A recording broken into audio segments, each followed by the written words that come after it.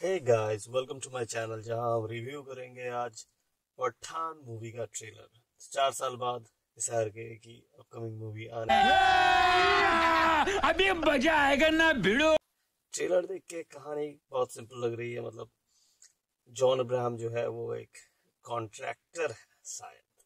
जिन जो इनका कॉन्ट्रैक्ट है किसी भी देश पर बम गिराना किडनैपिंग या कुछ भी। मतलब कोई मिशन नहीं है। तो अगला कॉन्ट्रैक्ट मिला है इंडिया में बहुत बड़ा धमाका करने का।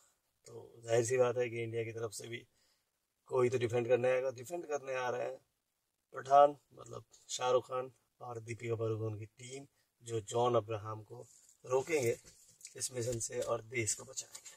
मतलब देशभक्ति वाला एंगल भी है और उसके साथ साथ फ़िल्म का ट्रेलर देख के जो लग रहा है, इसमें जो बात होने वाली है वो है एक्शन मतलब एक्शन एकदम टॉप नॉच लेवल की एक्शन है जो फास्ट एंड फ्यूरियस या फिर हॉलीवुड की मूवीज़ मिशन इम्पॉसिबल या फिर ट्रिपल एक्स वो सारी मूवी की फील दिलाती हुई जेम्स बॉन्ड वाली फील दिलाती हुई लग रही है।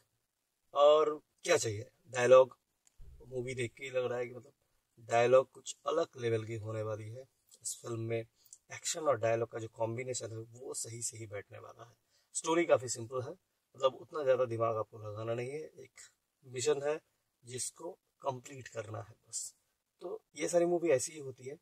अब स्टोरी ज़्यादा कॉम्प्लिकेटेड ज़्यादा थ्रिलिंग वाली नहीं होती है, लेकिन हम जो देखने जाते हैं वो है एक्शन डायलॉग और ठीक ठाक लॉजिकल तो लग तो रहा है ट्रेलर देख के कि मूवी एकदम ब्लॉकबस्टर होने वाली है, सारे रिकॉर्ड तोड़ने वाली है।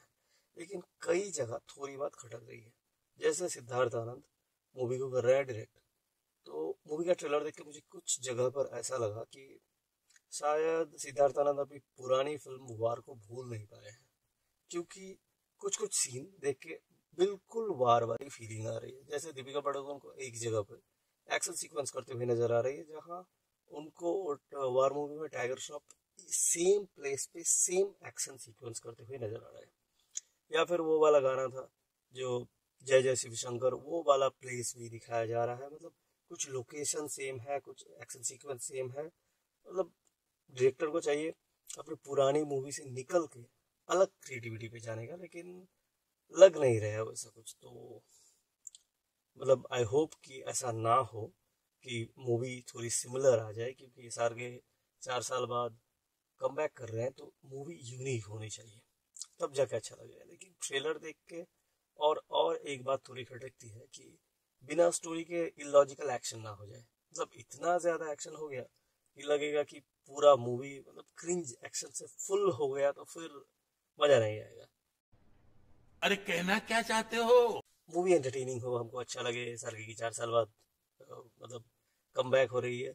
और मूवी ब्लॉकबस्टर हो लेकिन ये सारी चीज़ें थोड़ी थोड़ी खटकती है।